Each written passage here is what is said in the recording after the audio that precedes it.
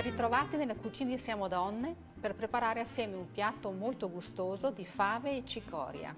Ci servono delle fave secche che vanno messe a bagno la sera prima e dell'erba amara che può essere o cicoria, radicchio selvatico, radicchio di campo, vedete voi quello che preferite, una patata, olio, sale e pepe.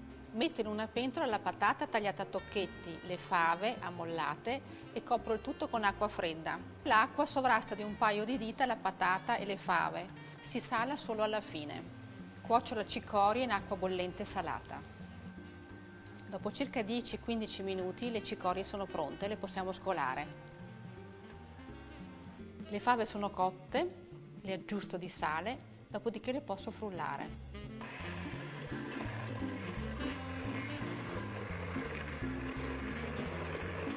impiattiamo adesso un po' di cicoria.